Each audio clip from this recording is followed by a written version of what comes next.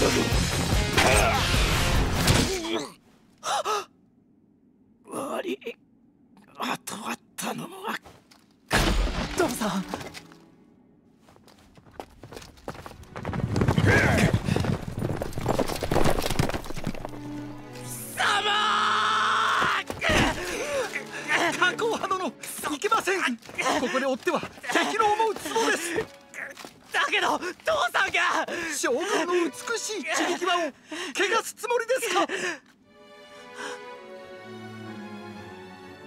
それはこの超春愛が許しません。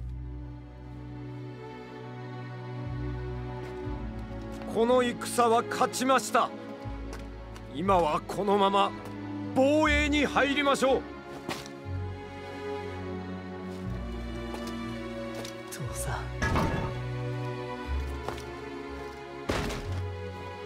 父さん。父さん。